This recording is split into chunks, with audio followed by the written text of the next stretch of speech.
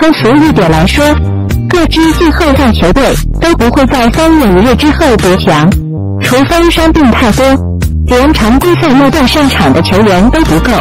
当然，这样的概率基本上等于零。北京时间今日凌晨，《纽约时报》记者 Max b o n 报道，密尔沃基雄鹿曾考虑签下自由球员马尔辛·戈塔特，但目前已无意签约。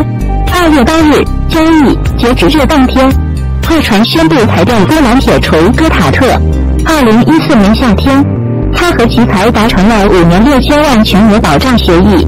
本赛季常规赛至今，戈塔特都是快船的将首发，场均上场十六点零分钟，得到五点零分、五点六篮板、一点四助攻、零点五一盖帽。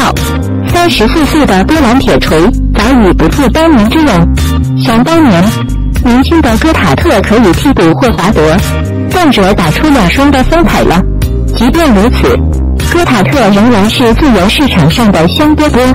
毕竟，比心签下他还是相当划算的。但是，戈塔特也是有追求的，他的目标只有一个总冠军。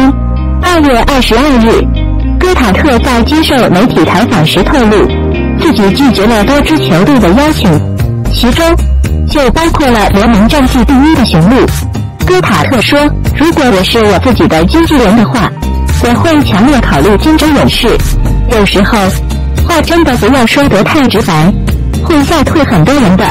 如今已经到了美国时间的三月一日，勇士方面基本确定不会补强，这也意味着戈塔特可能得到的总冠军戒指没希望了。